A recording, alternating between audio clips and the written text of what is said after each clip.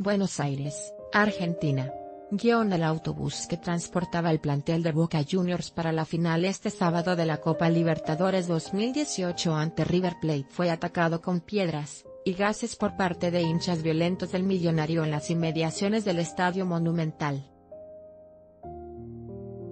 Según las imágenes de televisión de varias cadenas deportivas, el vehículo ingresó al escenario con varios vidrios laterales rotos y los jugadores, una vez descendieron, iban tosiendo y con los ojos llorosos por efecto de los gases.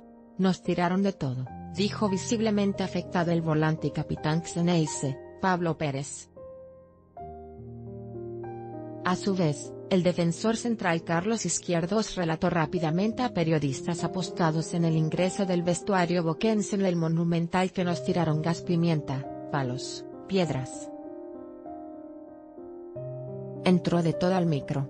La televisión mostró el ingreso de los jugadores al camerino y en su totalidad, así como el cuerpo técnico y varios directivos que viajaban con el plantel, se veían afectados por los gases. Fue un descontrol en las últimas calles cerca al Monumental. La policía se vio desbordada ante tanto vandalismo, y tuvo que dispersar a los hinchas de River con gases lacrimógenos, que también por efecto del viento y las ventanas rotas ingresaron al micro, dijo uno de los directivos a la prensa.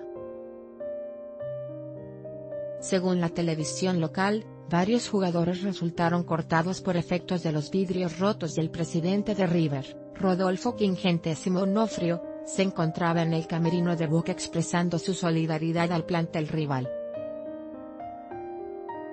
El desplazamiento del automotor se hizo con una fuerte custodia de policía desde el exclusivo sector de Puerto Madero, en el centro de Buenos Aires, hasta el barrio de Núñez, en el norte de la ciudad.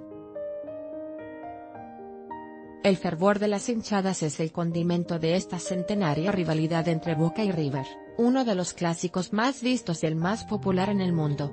Desde 2003 se rige en Argentina una prohibición para que las hinchadas visitantes acompañen a sus equipos debido a recurrentes hechos de violencia.